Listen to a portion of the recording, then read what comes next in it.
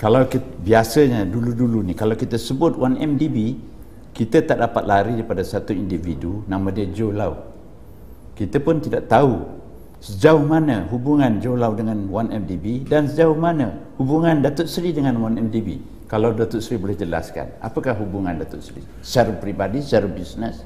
Ya Jolo ni ada orang yang amat uh, uh, mendatangkan kontroversi uh, sebenarnya Jolo ni dia mula dengan TIA Terengganu Investment Authority yeah. sebagai konsultan uh, sebab, sebab ada pihak-pihak berkuasa menjemput dia sebagai konsultan ya sebagai advisor yang kedua, dia sebelum 1MDB, dia ada hubungan yang rapat dengan uh, negara-negara di Timur Tengah. Yeah. Terutama sekali dengan uh, UAE, dengan Arab Saudi.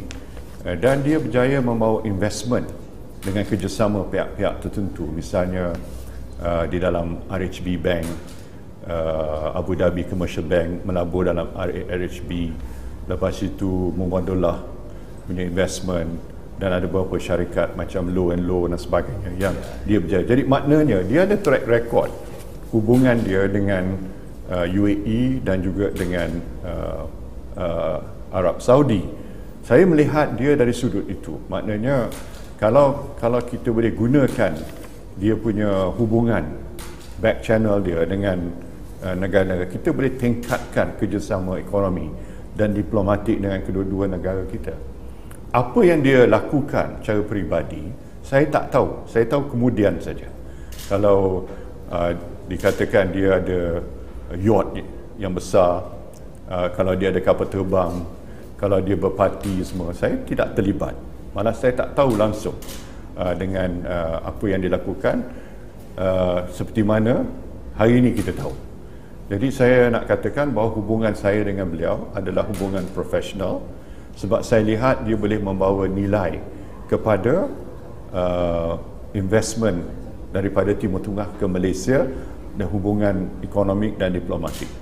Tetapi kalau dia buat kesalahan dan kalau dia melakukan pecah amanah, itu dia melakukan sesuatu yang bertentangan dengan undang-undang. Jadi tindakan perlu diambil, mesti diambil terhadap dia.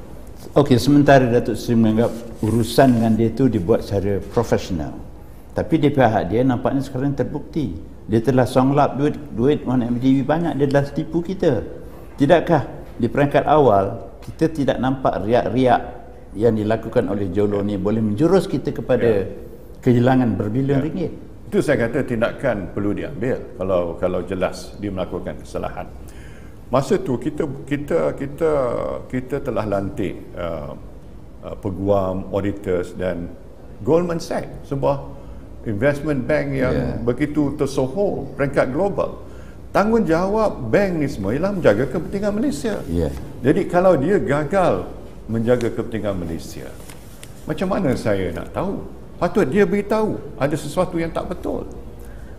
Dia jelas telah menggagalkan tanggungjawab dia misalnya Goldman Sachs Goldman Sachs terbukti.